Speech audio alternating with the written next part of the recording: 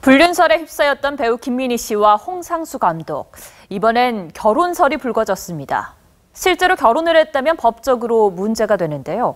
당사자들은 입을 다물고 있습니다. 정은혜 기자입니다.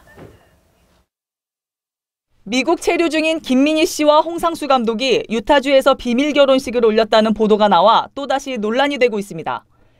뭐 홍상수 감독과 김민희 씨가 비밀 언약식 뭐 이런 얘기도 오가고 있고 더 나아가서는 두 분이서 뭐 전혀 이제 한국을 안 들어온다는 얘기도 있고 일각에서는 두 사람이 미국에서 장기 체류를 하기 위해 결혼한 것 아니냐는 분석도 나옵니다.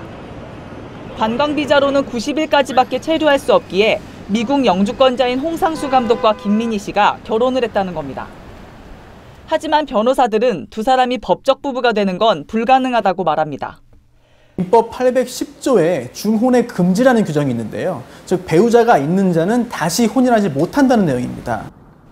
미국에서도 중혼이 허용되지 않는 건 마찬가지입니다.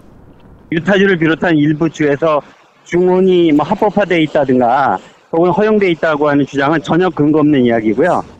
김 변호사는 미국에서 중혼죄는 형사처벌 대상이라며 유타주에서는 5년 이하의 징역이라고 밝혔습니다. 의혹은 커져가지만 두 사람은 여전히 아무런 입장도 내놓지 않고 있습니다. TV조선 정은혜입니다.